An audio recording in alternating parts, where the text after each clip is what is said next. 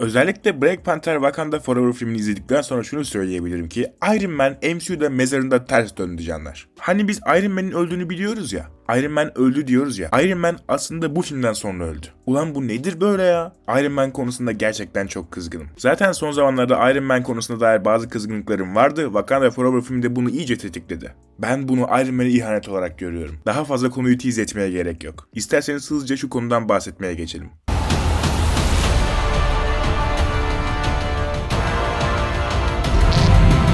Bugüne kadar Iron Man'in ölümünden öncesinde de sonrasında da Iron Man'in artık özel hissettirmediğini düşünmeye başlamıştım. Çünkü şöyle bir baktığımızda Iron Man'in zırhını birçok insan giyebiliyordu artık. Buna Avengers Endgame'deki Pepper'ın zırhı da dahil. Hadi ona bir şey demedik o güzelli sıkıntı yoktu. Fakat Iron Man'in ölümünden sonra Iron Man'in Iron Man'liği Iron Heart dizisinde Iron Heart karakterine gidecekti. Biz de o Iron Heart karakterini Iron Man'in kızına çevireceklerini düşünmüştük ama öyle olmadı maalesef. Iron Heart baya baya çizgi romanlardaki gibi siyahi bir oyuncu seçilerek çekilmeye başlanacak. Zaten Iron Heart karakterini de Wakanda Forever filminde görmüş olduk. Ve açıkçası bu karakter bana Iron Man'in devamı niteliğinde gibi gelmiyor. Iron Man'in o geriye kalan neslini devam ettirebilecek bir karakter değil bu bana kalırsa. Çizgi romanlarda Iron Heart Iron Man'e hayran birisiydi. Peki sizce bu Iron Man'e hayran birisi gibi duruyor mu? Yine çizgi romanlarda Iron Heart'un kendine yaptığı kostüm Iron Man'inkine baya bir benziyordu. Peki bu Iron Heart'un yaptığı kostüm Iron Man'e benziyor mu? Hayır benzemiyor. Zaten bundan zamanında bahsetmiştim hani tekrar bahsetmeye gerek yok. Bu kostüm tamamen Iron Man'e ihanetin ta kendisi zaten ama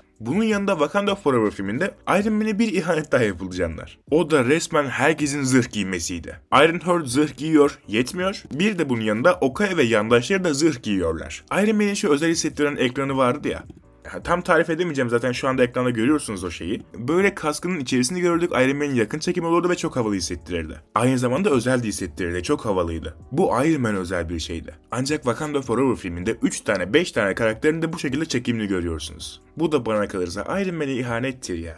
Tamam biraz fazla fanboyluk yapıyorum. Biraz belki de fazla takıyorum sizin gözünüzde ama Iron Man benim en sevdiğim karakterlerden bir tanesiydi MCU'da ve onun özel kalmasını istiyorum. İlerleyen zamanlarda Avengers Secret Wars'ta belki de Iron Man geri döndüğünde onu özel bir şekilde ulan seni çok özledik Iron Man hiçbir şekilde seni gördüğümüz şekilde kimseyi göremedik demeyi istiyorum. Ama bunlar yüzünden onu deme şansım elimden alınmış oluyor. Çünkü bunlar da Iron Man gibi zırh giyiniyorlar ve o çekimi tekrardan bizlere gösteriyorlar. Bu da bizim Iron Man'i özlememizi de engelliyor bir noktada bana kalırsa. Bence bu yapılan her şey tamamen hem Iron Man hem de biz Iron Man severlere zarar. Ulan adam öldü. Hadi giyecekseniz bir kişi iki kişi zırh giysin de 3 tane 5 tane zırh giymeyin ya. Wakanda Forever filminde bu olaya ben çok sinirlenmiştim ve özellikle bahsetmedim özel bir video çekmek istedim. Ki bence bu olay Wakanda Forever'da da kalmayacak bu arada arkadaşlar. Biliyorsunuz yakın zamanda Armor Wars filmi de gelecek. Öncesinde diziydi daha sonrasında kendisi film oldu bilmeyenler için tekrardan söylüyorum Armor Wars filmi gelecek. Ve belki de Armor Wars filminde Iron Man'e daha da ihanet edildiğini, herkesin zırh kazandığını görebiliriz. Umarım öyle bir şey olmaz çünkü bu beni çok üzer. Umarım Armor Wars filmi Iron Man'e ihanet etmek yerine onu daha çok över ne bileyim daha çok ön plana çıkartır, özlemini anlar falan.